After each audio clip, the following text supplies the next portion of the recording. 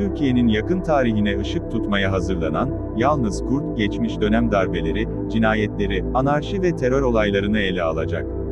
Toplumsal kırılmaların ışığında iyilerle kötüler arasında amansız mücadele ve yakın tarihteki dönüm noktaları da ekrana taşınacak.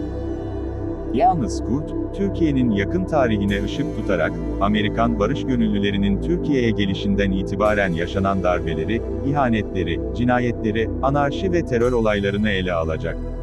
Yalnız Kurt 15 Temmuz hain darbe girişimine nasıl gelindiği ve bu süreçte neler yaşandığını da ortaya koyacak.